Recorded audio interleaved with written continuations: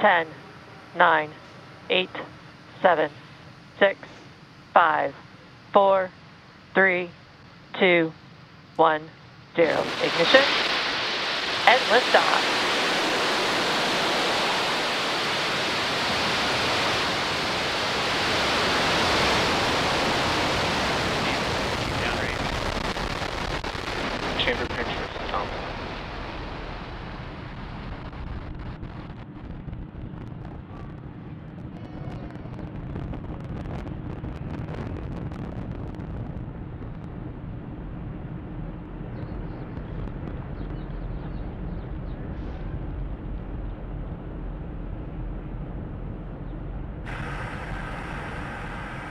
Plus 40 seconds into flight, Falcon 9 lifting off from Space Launch Complex 39A at the Kennedy Space Center. Power and telemetry nominal. Carrying 47 Starlink satellites to low Earth orbit. Now, we just throttled down the Merlin 1D engines in preparation for max Q. That's the point of maximum aerodynamic pressure. Falcon 9 is supersonic. That's the point when the combination of the velocity of the vehicle and the density of the Earth's atmosphere put the highest stresses on the vehicle.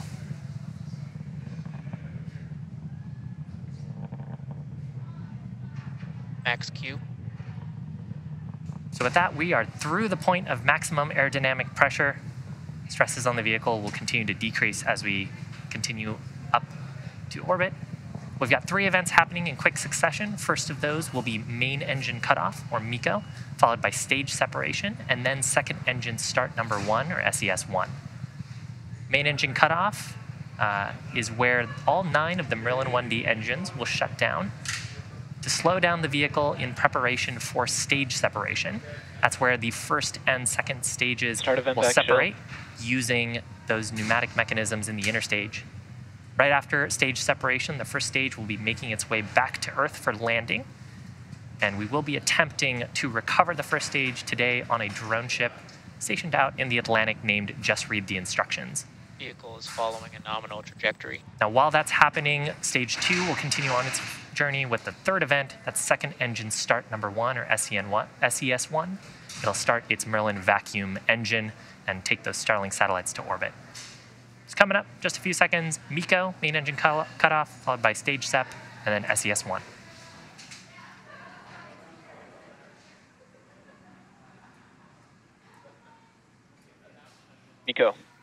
Stage separation confirmed.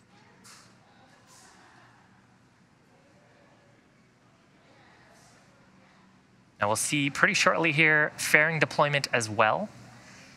And second stage startup. Fairing separation confirmed.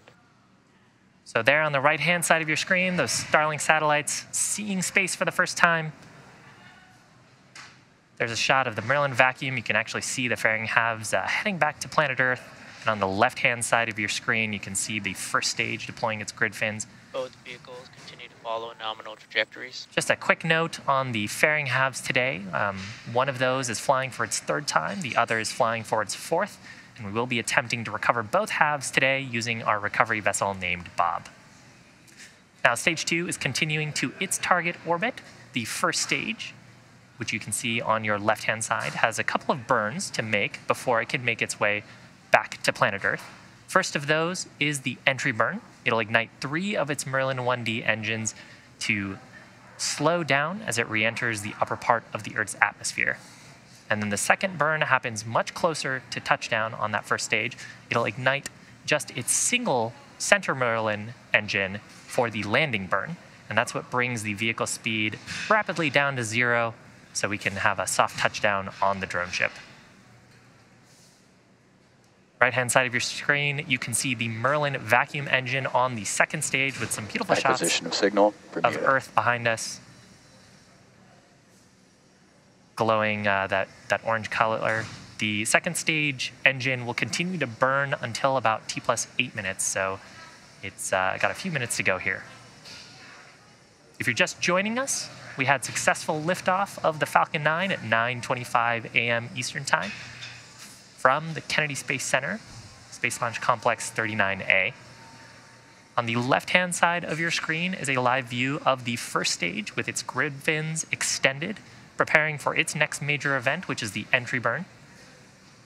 It's making its way to a drone ship stationed in the Atlantic named Just Read the Instructions, targeting its 11th landing. On the right-hand side of your screen is the second stage, carrying 47 Starlink satellites into an intended uh, drop-off orbit. Now, those uh, Merlin engines on the stages, uh, on the first stage, are actually optimized for sea level. They achieve about 190,000 pounds of thrust during ascent, so during this portion of the mission, and now for descent, a similar amount of thrust. The Merlin vacuum engine is optimized for 220,500 pounds of thrust, and that's because the nozzle is significantly larger, allowing us to get more force out of the gases from combustion. You can see a couple of the grid fins on the Falcon 9's first stage on the left-hand side of your screen. Those hypersonic grid fins are near the top of the first stage. And uh, as we get back into the Earth's atmosphere, the first stage only uses those grid fins to steer back towards the drone ship. While we're in the uh, less dense parts of the Earth's atmosphere, you can see some periodic gas thrusters. That's from nitrogen gas. Both vehicles continue to follow nominal trajectories. And that's orienting the vehicle as we get prepared for the entry burn start, which is coming up about uh, 20 or so seconds from now. During entry burn, we'll ignite three of the Merlin 1D engines on the first stage to slow down the vehicle as we start to hit the denser parts of the Earth's atmosphere.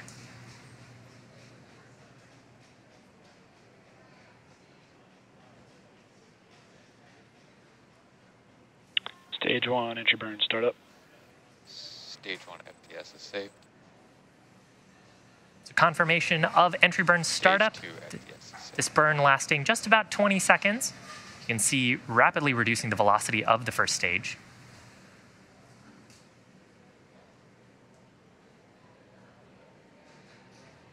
Stage one, entry burn, shutdown. So confirmation of shutdown of the entry burn.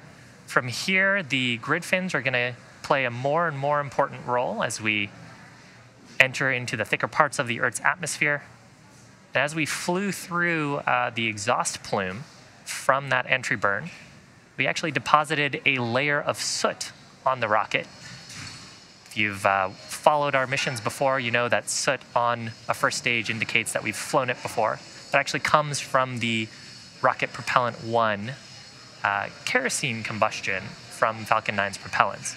Rocket Propellant 1 is a carbon-based propellant, so as we burn it, it generates a little bit of soot, which is deposited onto the vehicle.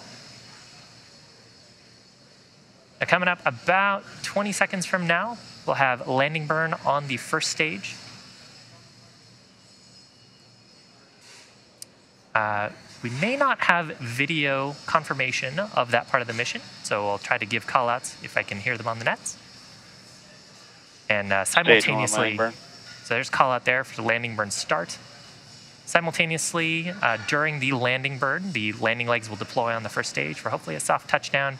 And then the second stage, which we have on our screen, should also complete its first burn. Stage one, landing leg deploy. So four landing legs deployed on the first stage, confirmed by the ground control team. Center. Stage one, landing confirmed. And confirmation, 11th successful landing of that first stage. Pico. 26th overall landing on Just Read the Instructions. Here you can see a shot there. We also had a call out, Nominal orbit insertion. two call outs there on the second stage, confirmation of second engine cutoff and a nominal orbit, which means those Starlink satellites are right where they want to be for the upcoming payload deployment. Now, those 47 Starlink satellites are scheduled to be deployed about an hour from now. However, we won't have live audio or visual coverage uh, of the payload deployment due to a lack of ground station coverage at the scheduled time. We will regain signal with our ground station at about T plus one hour and 19 minutes. So, for those of you interested, we'll keep the audio only countdown nets up on our YouTube channel, and we'll confirm successful payload deployment on our social media channels. So with that and this awesome shot of the first stage, we're going to bring today's webcast coverage to a close. Our team at SpaceX would like to thank the Range and the Federal Aviation Administration for supporting today's mission. We also want to take some time to thank our viewers and all of our Starlink customers for using our service at this time. For more information on Starlink, or if you're interested in signing up for service, head on over to starlink.com. Thanks for joining us, and we'll see you again real soon.